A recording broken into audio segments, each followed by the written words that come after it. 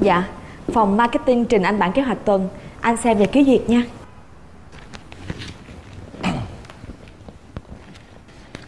Trưa đi ăn với tôi nha Ờ Tôi tôi ăn ở văn phòng được rồi. Hình như cô muốn né tránh tôi thì phải. Ly cà phê hồi sáng tôi mua uống ngon không? Anh có thể cư xử với tôi bình thường được không? Chứ anh quan tâm một cách thái quá vậy Tôi thấy không có quen Tập làm quen là vừa đó. Tôi đang đeo đuổi cô mà.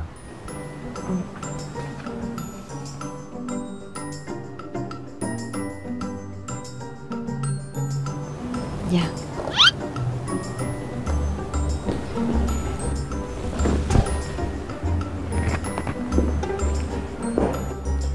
Trưa nay Nhất định cô phải đi ăn cho tôi.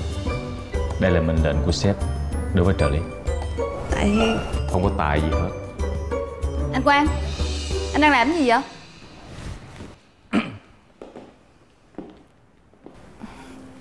Cô này đang là trợ lý của anh hả? À, Dạ. Em có quà tặng cho anh nè. Em làm gì vậy? Anh xem coi có thích quà này không? À, Dạ. Mẹ mới tới. À. Dạ mời mẹ ngồi. Em ngồi đi À, cái món quà này á là mẹ chỉ Ngọc mua tặng con đó. Tại vì à, nó không biết con thiếu cái gì hết Mà tự mua thì lại sợ con không thích. Thật ra thì em không cần phải mua quà tặng cho anh đâu. Ừ. Nó quan tâm con thì mua quà tặng con có gì đâu mà không cần. À nè, con xong việc chưa? Đi ăn luôn nha. Ờ dạ. À con có biết một cái quán này ngon lắm. Để con dắt cô với anh Quang đi ăn nha.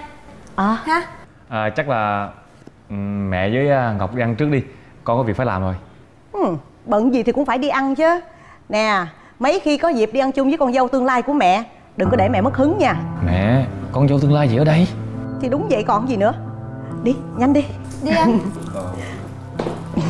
Đi cô Đi con. Dạ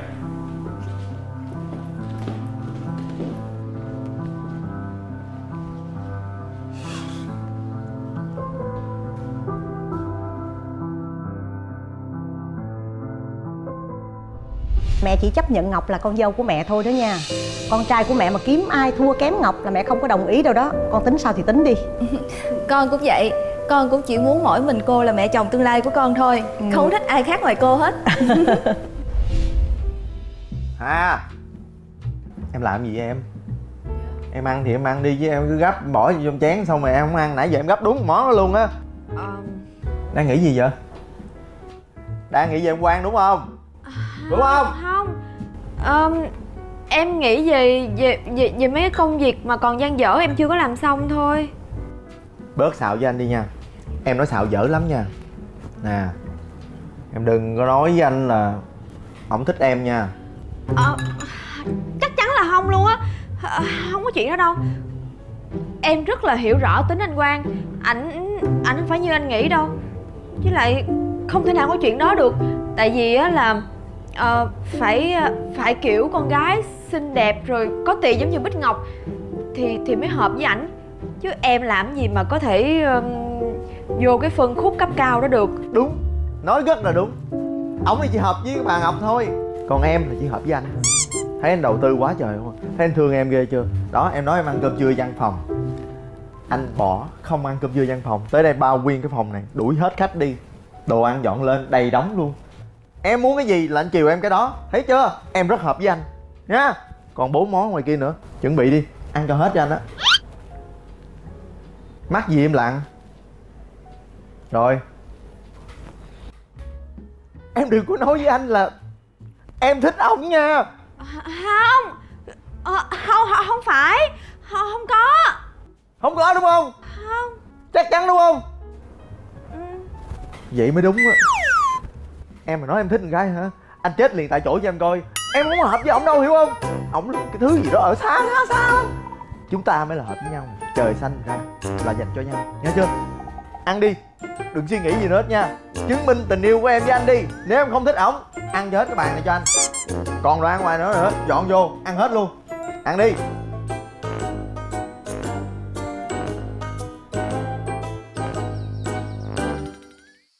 Em biết chừng nào ổng về em vậy? Thì ờ, ảnh đi ăn mà chứ ảnh về giờ á.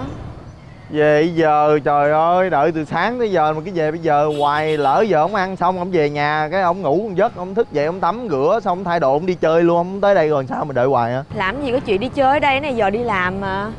Em nghĩ chắc chắc về giờ thôi mình chờ chút xíu đi. Đã lỡ giúp em thì giúp cho chó. Giúp xong là xong nhiệm vụ mà. Ờ không chờ chứ biết làm gì giờ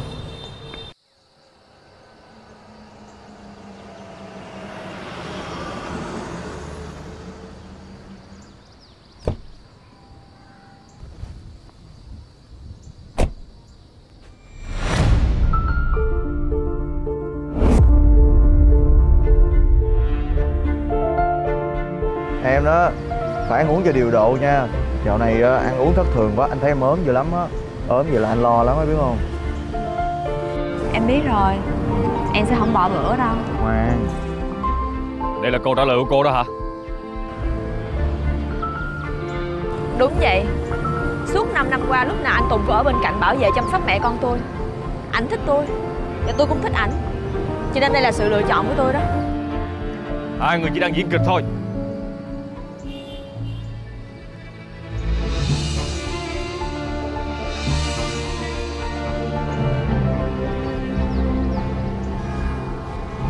về cẩn thận nha.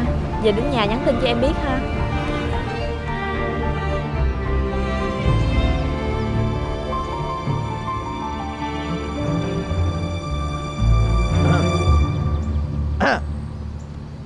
Em anh thấy mình diễn đạt lắm á. Mấy mình làm tới luôn đi. Mình làm thiệt đi được không? Thôi Đừng có chọc kẹo em nữa. Ờm, Em cảm ơn anh nhiều nha Lúc nào cũng đặt anh vô những cái tình huống khó xử như vậy hết Mà lúc nào cũng chịu giúp em. Còn về những cái chuyện khác thì thực sự là bây giờ em không có nghĩ tới đâu. Anh thừa biết á, là em toàn tâm toàn ý lo cho bé Ken thôi mà. Vậy hả? À, vậy ờ, giờ đóng kịch tiếp đúng không? Vậy thôi đóng kịch cũng được. À, tình cảm mà. Đâu có ép buộc được đâu ha. Anh về nha. Anh về cẩn thận nha. À